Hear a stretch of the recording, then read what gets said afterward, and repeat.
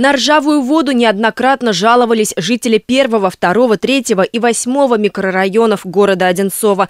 Причина – устаревшие сети. К 2021 году эта проблема должна быть решена. В городе реконструируют водозаборный узел номер один. Это значит, что более 24 тысяч горожан будут обеспечены чистой водой. Одни из самых острых тем, которые стояли перед нашими жителями, это э, водные ресурсы, это вода, питьевая, которая поступает в квартиры наших жителей. И гигантская работа проделана э, по части э, очистки воды.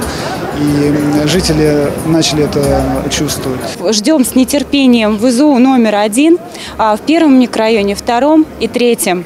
Надеемся, что качество воды будет соответствовать тому, что говорят. В минувшем году в регионе началась мусорная реформа. Переход на раздельный сбор дался нелегко. Нехватка машин и переполненные контейнеры. Жалобы от жителей поступали практически ежедневно. Постепенно ситуацию удалось выровнять. В прошлом году в рамках этой реформы мы дополнительно построили 51 новую контейнерную площадку.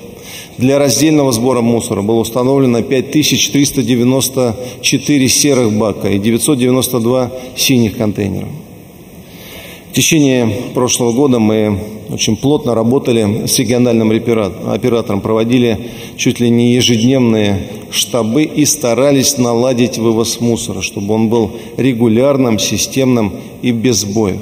Активно в Одинцовском округе реализуется программа ремонта подъездов. В 2019 году преобразились почти 150 парадных. В 2020 планируется эту цифру увеличить более чем в два раза.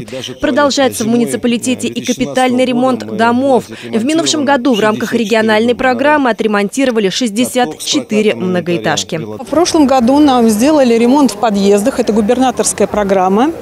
А, значит, в этом году нам отремонтировали крышу дома. А, по благоустройству у нас в восьмом микрорайоне открыто две площадки детские.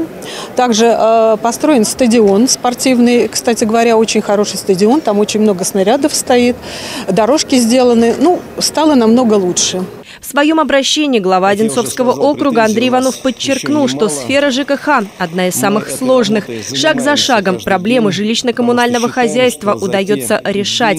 Впрочем, расслабляться еще рано. Задач на ближайшую перспективу поставлено немало. Евгения Августина, Артем Ломоносов, телекомпания «Одинцова».